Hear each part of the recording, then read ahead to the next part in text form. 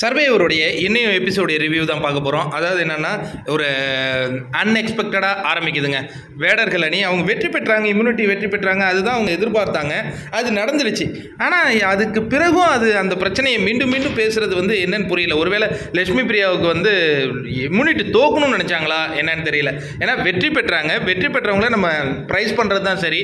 But அவங்களுக்கு வாய்ப்பு வேணும் அப்படின்னா அதுக்கு அடுத்த ஒரு இதில் கேட்கலாம். ஆனால் அவங்க அது கேட்குற தோணி வந்து வெற்றி பெற்றவங்களை குற்றவாளியாக மாற்றுற மாதிரி இருக்குது அதுக்கு வந்து சில பேர் வந்து கூடி கூடி பேசுகிறாங்க என்னுடைய பார்வை பிரகாரம் பார்த்தீங்கன்னா ஐஸ்வர்யா செய்தது தான் மீண்டும் சரி அப்படிங்கிற மாதிரி தான் வருதுங்க. அதுக்கு அடுத்தது அங்கே போகிறாங்கங்க அங்கே காடர்கள் அணியில் வந்து பெரிய அளவில் நீங்கள் எதிர்பார்க்குற அளவு சர்ச்சைகள்லாம் ஒன்றும் வெடிக்கல. உடனே அர்ஜுன் அவர்கள் வாங்க சர்வைவர்ஸ் கேப்டன்சி டாஸ்க்குக்கு போட்டியிட வாங்க. அப்படிங்கும்போது ரெண்டு ட்ரைப்லையும் பேசுகிறாங்க யார் கேப்டனாக நிற்கலாம் அப்படிங்கும்போது இந்த முறை அந்த ஸ்க்ராலில் வந்து தைரியம் அதை முன்னெடுத்து நிற்கிறவங்க தான் நிற்கலாம் அது இவங்க ஸ்க்ரால் அனுப்பிட்டு இருக்காங்க பட் அவங்க யாரை டிசைட் பண்ணுறாங்களோ அதானே. அவங்க காடர்கள் அணியில் மூன்று பேராக இருந்தால் சரண் விக்ராந்த் லேடி கேஷ் நிற்கலாம் அப்படின்னு சொல்கிறாங்க இங்கே வேடர்களில் வந்து மூன்று பேராக இருக்கலாம்.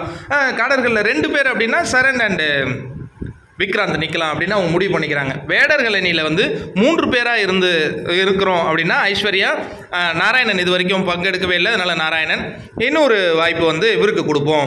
இனிக்கோவுக்கு கொடுப்போம். அதே இரண்டு பேர்னா ஐஸ்வர்யா நாராயணன் அப்படின்னு சொல்லிடுறாங்க. இப்போ வந்து ஒரு பசில் சால்வ் பண்ணுறது உங்களுக்கு தெரியும்ல அந்த மூணு மூணு கல்லில் வைப்போம் இல்லையா? அந்த மாதிரி வைக்கணும். ஐந்து ரவுண்டு போட்டி நடக்குதுங்க. ஃபஸ்ட்டு வேடர்கள் அணியில் வந்து ஐஸ்வர்யா நாராயணன் மோதுறாங்க. ரொம்ப கடுமையான போட்டி. ரெண்டுக்கு ரெண்டுன்னு வந்து நிற்கிது கடைசியாக மூணாவது ஆட்டத்தை அதாவது ஐந்தாவது ஆட்டத்தை வெற்றி பெறுறாங்க ஐஸ்வர்யா. அதனால் அவங்க கேப்டனாக மாறிடுறாங்க. முதல் முறையாக அதாவது மூன்று முறை அவங்க போட்டியிட்டு இப்போ அவங்க கேப்டனாக தேர்வு செய்யப்பட போகிறாங்க தேர்வு செய்யப்பட்டாங்க. அதுக்கு அடுத்தது இங்கே பார்த்தீங்கன்னா விக்ராந்த் அண்டு தம்பி சரண். முதல் ஆட்டத்தை வந்து சரண் வெற்றி பெறாரு. அதற்கு அடுத்த ஆட்டத்தெல்லாம் விக்ராந்த் வெற்றி பெறாரு. அதனால் விக்ராந்த் வந்து முதல் முறையாக கேப்டன் ஆகிறார் அப்படிங்கிற அந்த தகவல் வந்திருக்கு. அதுக்கப்புறம் வந்து அந்த கண்டஸ்டன்ஸினுடைய நீங்கள் எப்படி சர்வேயர் வந்தீங்க? எப்படி வீட்டை சமாளிச்சீங்க? அந்த மாதிரிலாம் சில விஷயங்கள் ஓடிட்டுருக்கு. அது அதை கேமரா பார்த்து தான் பேசிகிட்டு இருக்காங்க.